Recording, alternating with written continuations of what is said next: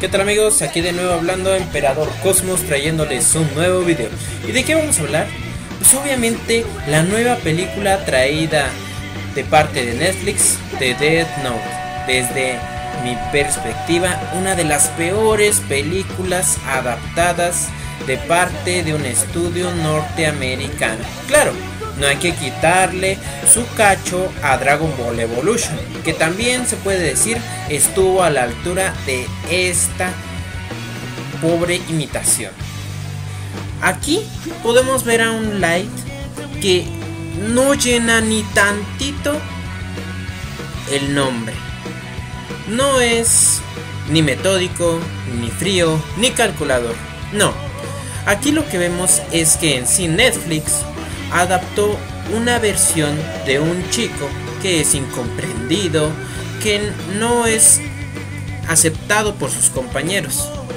En el anime quizá no se demostró, pero Light era sumamente querido por sus compañeros, dado que era muy popular en la escuela. ¿Por qué?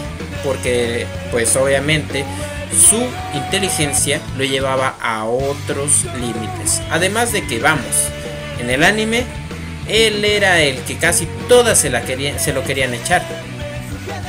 Ahora viendo a este like, puedo decir que es una pobre imitación tan mala que yo creo que si lo viera el verdadero, se avergonzaría y se metería en un hoyo en el piso.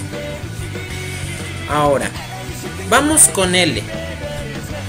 Todos dijeron que el actor que personificaría a L en esta nueva versión, a pesar de que sería negro, nadie lo juzgó por otras cosas.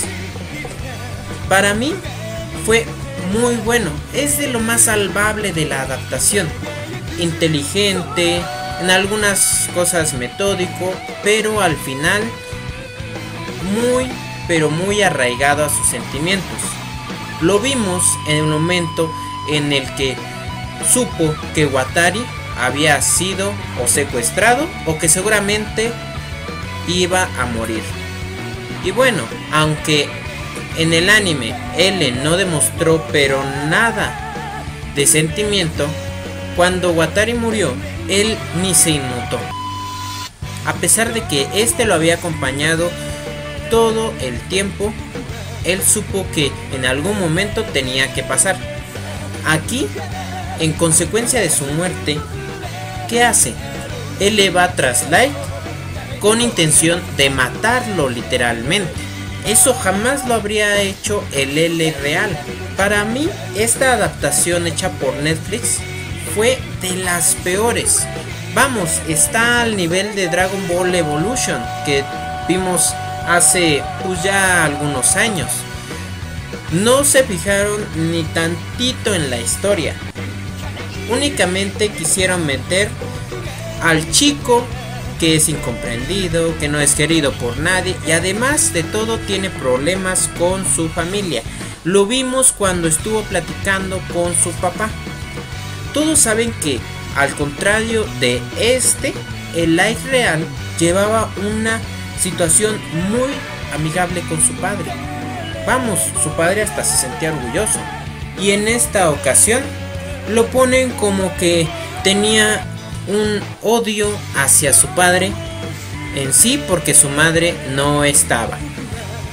O sea, lo arruinaron de tal forma que no quisieron poner ni a la madre ni a la hermana, únicamente para que Like quisiera ser un vengador, algo extraño.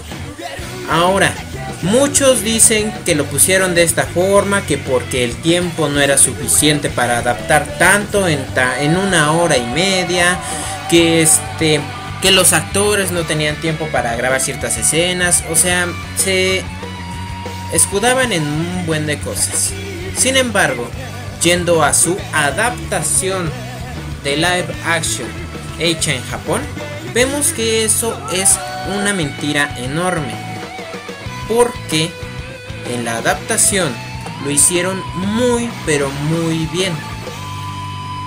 Excluyendo a la tercera película, las primeras dos abarcaron todo el anime de una forma muy bueno.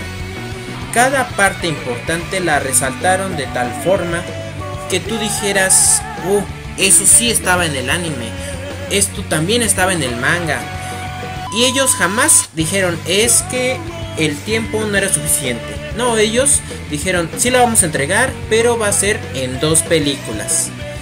Y obviamente, al esperar, los fans se creaban amplios formas de vista. Y cuando salió, fue bien recibida, a contrario de esta. Aquí, además de todo, pudimos ver la reacción de L después de la muerte de Watari. Que si bien no fue como la reacción que salió en esta adaptación, fue una reacción que quien la vio supuso y dijo, así realmente reaccionaría L. No se puso ni loco, ni melancólico, únicamente lo aceptó tranquilamente y tuvo un poco de paz. Aquí lo ponen con que L reaccionó muy fúrico, queriendo matar a Light, como si fuera una persona normal, ¿no? Y muchos sabemos que L no es así. Aunque quizá fue porque quizá los que hicieron la película quisieron pues que te identificaras un poquito más con los personajes. Sin embargo, esto fue un error. ¿Y por qué lo digo? Porque muchos fans hasta el día de hoy, y digo, han pasado dos o tres días de su estreno, no la han aceptado pero ni tantito esta adaptación. Fue muy esperada y fue muy sobrevalorada por algunos. Pero no pudo llenar ni tantito los zapatos de esta gran adaptación que fue la que hicieron en Japón. Para mí esta es una de las peores películas que he visto. Y si no la has visto, te aconsejo que no lo hagas. Este fue Emperador Cosmos. Y esto únicamente es una opinión de esta nueva película de Death Note.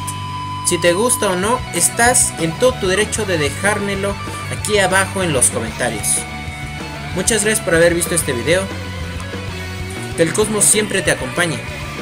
Y no olvides que también puedes dejarme tu buen like si es que el video fue de tu agrado. Además de suscribirte a este buen canal.